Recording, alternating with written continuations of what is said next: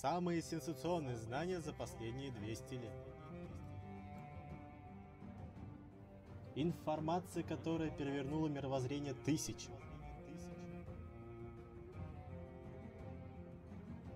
Это скрывать больше не получится.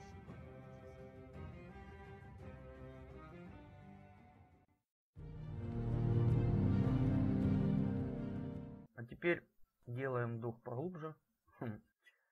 Наша планета в сотни тысяч раз больше, чем мы это себе можем представить.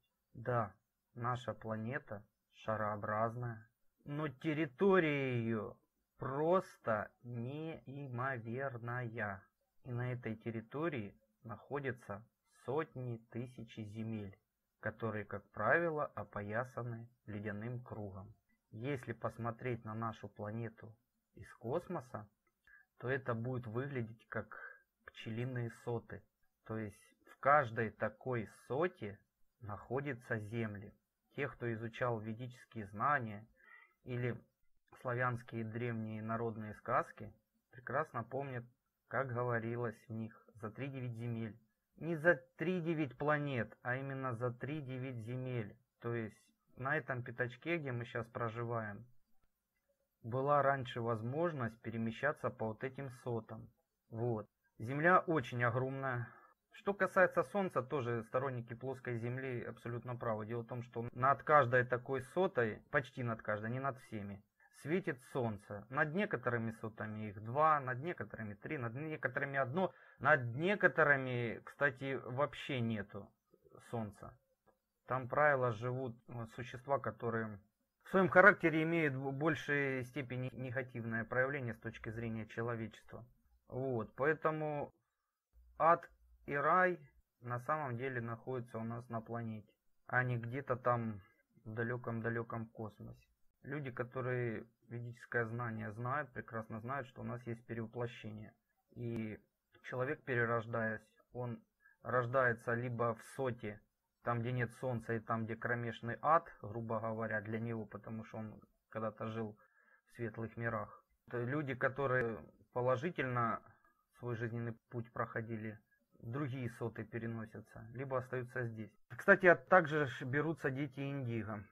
Да, несмотря на то, что Земля находится в центре Вселенной, я, как говорится, не стал бы обольщаться, потому что если мы посмотрим на ДНК, как мы его привыкли видеть, вот эти, назовем их, шарообразные кругляшки, вот наша планета просто одна из, э, из цепочки вот этого огромного ДНК.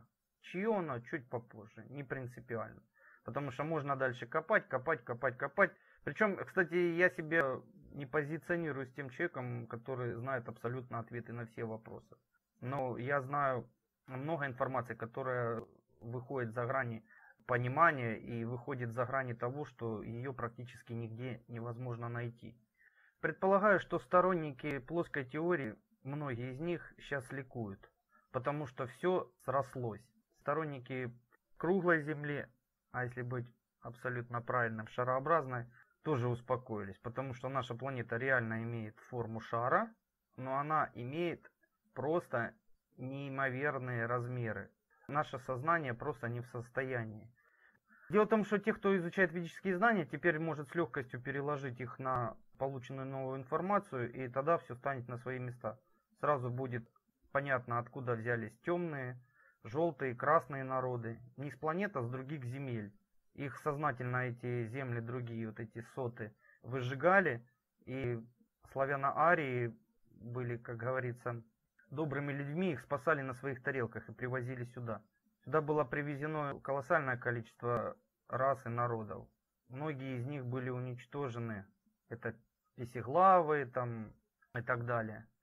Которые, кстати, до недавнего времени еще лазили по планете. Ну, опять же, те, кто изучает ведические знания, все стало на свои места. Но это не означает, что не существует космоса, не существует других планет. Теперь по поводу полета в космос. Да, конечно, последние 200 лет в космос никто не летает. Потому что на консервных банках лететь в космос практически невозможно. Наши современные, назовем их ученые, да, ну ученые это от слова ученые. То есть их кто-то научил, а, а тех тот кто-то научил. То есть ученые это те люди, которые получили, зазубрили знания, но на самом деле понятия не имеют, что происходит на самом деле. Так вот, современная наука вообще не имеет никакого представления, как выглядит на самом деле и что себя представляет космос. Я с вами с удовольствием поделюсь. Представьте наш мировой океан. Мы знаем, чем ниже, чем глубже опускается подводная лодка, тем на очень серьезной глубине ее может просто расплющить от огромного давления. Уважаемые друзья, космос то же самое. Чем выше подниматься, тем давление неимоверное. Наша современная техника не в состоянии подняться. Все вот эти корабли космические, это все фейк. И вот, кстати, многие, что мне улыбают, тут я ж так вот посмотрел, там, знаете, как вот моделька маленькая сделана, обтянута тряпочками, на этой тряпочке наклеены вот эти лейбы, которые раньше, да и сейчас на, на джинсы это, да, шили там на одежду. И камера, когда берет э, этот маленький макет, там метровый в объектив на фоне планеты, да, создается впечатление при таком, скажем так, наведении камеры, что корабль большой. Это знаете, как в кино есть классический вариант, чтобы реалистично создать пожар, э, небольшую жаровню очень близко подносят к камере, вот, и перед камерой держат, чтобы создать максимальный эффект пожара. Так, что еще хотел бы вам рассказать? Ну, мы выяснили, что Земля на самом деле круглая, но имеет огромные размеры. Да, действительно существует антарктический пояс, который не дает выйти э, за пределы этой соты. Вот. Купол можно так, твердь неба за счет того, что, как говорится, вверху тоже океан. Что дальше? Значит, по поводу океана мирового и так далее. Наша планета, вот эта сота, она когда-то была полностью вся состояла из Земли.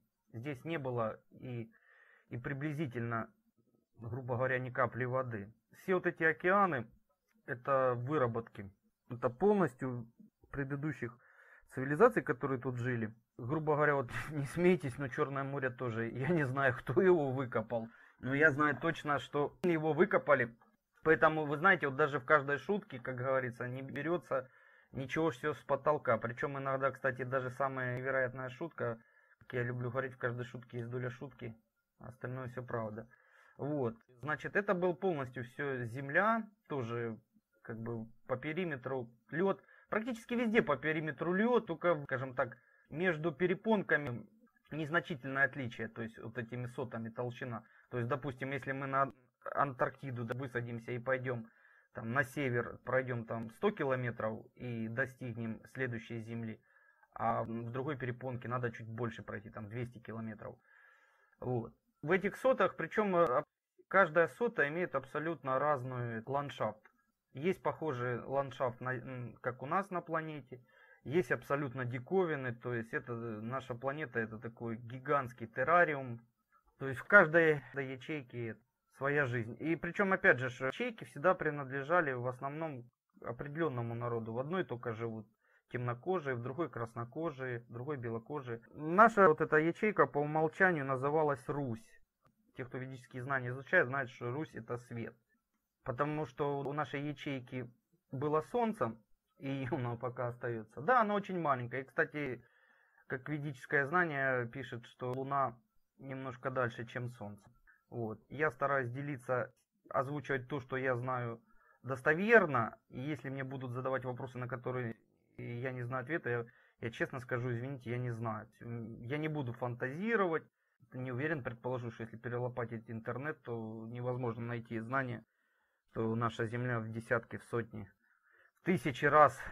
Не знаю четкие координаты, в каких она размеров, но могу сказать, что приблизительно тех размеров, которые нам сообщают, как выглядит Солнце. А на самом деле таких размеров наша планета, значит, наша ячейка была полностью когда-то из Земли. Это искусственный ландшафт, более высокоразвитая цивилизация. Вы знаете, на YouTube есть очень много уважаемых людей, которые пытаются донести, что Земля была искусственно создана.